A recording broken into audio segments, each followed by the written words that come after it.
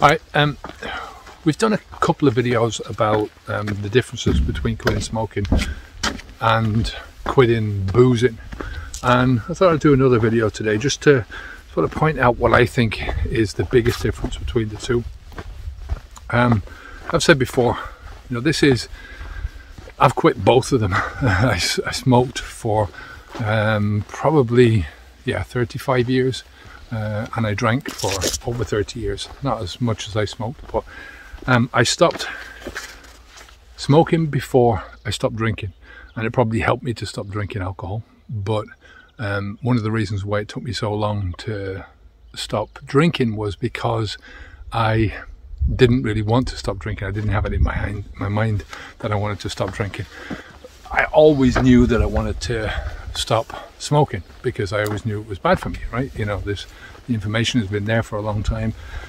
You get up, if you're a smoker, you get up in the mornings with a horrible cough, and you, you notice the the um, the physical effects, the physical consequences of it much more when you're um, when you're a smoker rather than a drinker. I think there's um, there's a lot more of a play on the hangover uh, especially as a bloke, you sort of look at yourself and you know you're, you're taught to to see yourself as a tough guy if you're able to put over the hangover without moaning about it. You know, that's no problem. I don't get a hangover. I can drink as much as I want. You know, that kind of shit. Um, but I think one of the biggest differences between drinking and smoking is the the the life effect that alcohol has over you uh, much more than the life effect that uh, quitting smoking has, right? Um, or the life effect that drinking has over you rather than the life effect of smoking. Um, as usual, these videos are sponsored by Habits V2, which is our um, our online mentoring coaching program. Uh, we've got tons of premium videos on all kinds of topics. It's step by step, taking you from preparation, transition through transformation. We've got our forum. Um, there's a lot of good people in there from all walks of life, uh, new members all the time. And uh, we've got our Zoom calls, and I'm there every day to uh, help you out any way you want. If you want to take a trial of the program, it's down below. There's a link. Just click on that, and you can get a, a trial for seven days for one dollar. Good investment in yourself. Um, all right.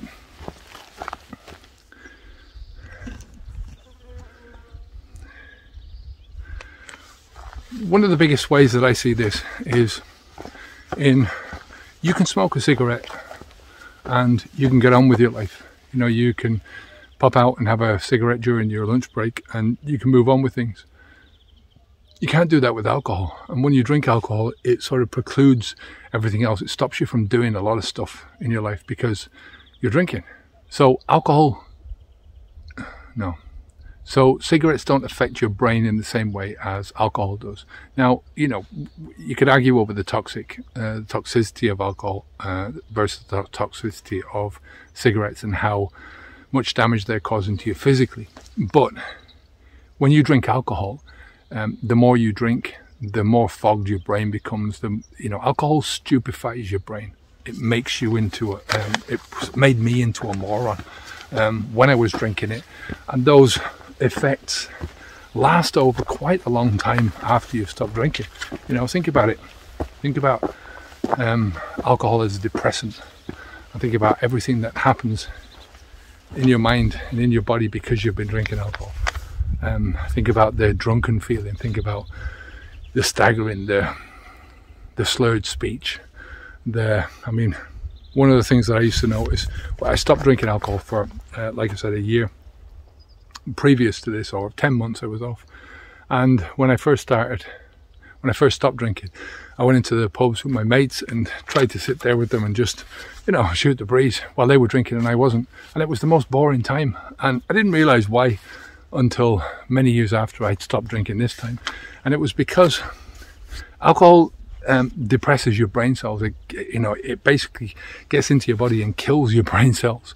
Um, so you're not able to think at the same speed as you would be under normal circumstances. So, a topic which would be very um, a topic that seems interesting while you're drinking alcohol is going to be really boring when you're not drinking alcohol. Plus, you're doing the same thing over and over again. You're talking the same talk over and over again, the same shite. Do you get what I mean? So it's a scrambling effect on your brain that just doesn't, um, I don't think it compares with smoking. You know, like I say, you get that toxification of your brain, you get the toxification of your body with cigarettes, but it's not the same thing with um, the stupefaction or the scrambling of your brain that, that um, alcohol gives you. I mean, you have to live your, your, your life in the moment.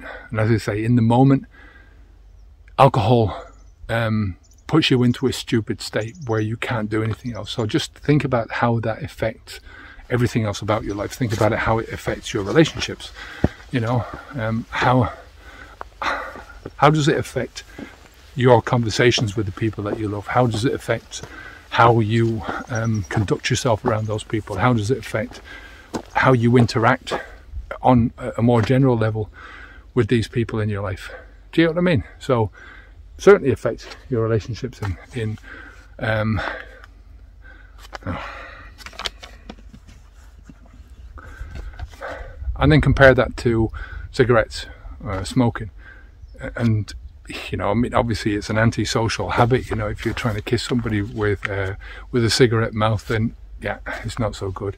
But it doesn't affect your relationships in uh, in such a big way. Same thing with your finances. I mean, when you're stupefied, you're not going to make the best decisions financially. You're not going to make the best decisions in so many different areas of your life. So, you know, just think about from that perspective that. Um, if you're given a choice of which one, if you're a smoker and a drinker and you're given a choice of which one to stop first, my advice would always be to get rid of the alcohol first because you're gonna you're gonna have so much more upside to stopping drinking alcohol. Um, your brain will clear. You'll start thinking clearly about a lot of stuff. You, it will give you a bigger boost in terms of um, you know, when you stop drinking alcohol, you have to deal with so many different areas of your life that you used to drink alcohol in, or you, you tried to hide from your life with alcohol. So because you're dealing with those, then you can take that experience of stopping drinking and apply that to stopping smoking. And even if it takes you two or three months, the advice is to continue to smoke. Um, you know, don't try and do these two things at once because they're both different enough that they will take um, a lot of energy in order to, to, to get rid of and um, yeah, you need all the energy. You need to focus your energy on one thing at one time. Uh, focus your time on one thing at one time. So um, that's the advice for that. Um, but yeah, if you're gonna if you're gonna stop one thing, get rid of the alcohol because the alcohol is really stopping you from moving forwards. You know, you can move forwards and you can still make great progress in your life as a smoker. Um, you know, the the smoking is definitely bad for you, but choose alcohol first, get rid of that, and then move on to something else. I'm Kevin O'Hara for Habits V2. If you haven't subscribed to the channel yet, please subscribe uh, and click the, the bell notification to get notified of any other videos that we're coming about. And if you like this content, give us a thumbs up. Um, it really helps us. Take care of yourself and I'll speak to you in the next video.